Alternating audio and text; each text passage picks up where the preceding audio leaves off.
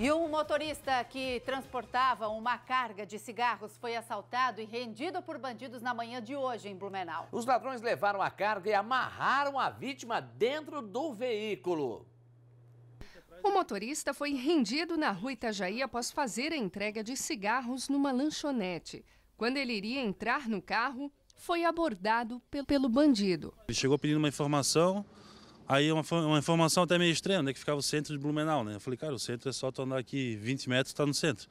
E quando eu fui entrar no carro para seguir meu serviço, ele me rendeu, veio com a mão na, na cintura dizendo que eu perdi, eu perdi. Aí dali para frente eu só fui pro banco do carona, aí ele me amarrou com essa, essa cinta aqui e eu só fiquei cabeça baixa, esperando ele ir até no local próximo ali para baldear a carga. Ainda te pediu orientação, né, da onde ir com o veículo. Isso, ele não sabia, ele não conhecia a região aqui, aí ele pediu para mim tirar ele do movimento. Aí como eu conhecia, não queria ir muito longe com eles, eu fui logo ali pertinho, ali que eu conhecia uma rua sem saída. Aí dali para frente eu fiquei cabeça baixa e eles pararam em uma ruazinha qualquer lá e tiraram a carga do veículo. O bandido levou o carro até a rua Pastor Oswaldo Hess, que fica nas proximidades. Ali, ele fez o transporte da carga para outro carro que estava na espera. Aqui ainda tinham oito caixas de cigarro, correspondente a 28 mil reais em dinheiro. Após pegar a carga, os bandidos ainda trancaram o motorista aqui dentro. Por sorte, ele ficou com um celular no bolso e foi assim que ele pediu socorro. Aí, como eu estava trancado no bolso, o celular no meu bolso, eu liguei para o meu irmão que mora próximo ali, ele trabalha na empresa de guincho.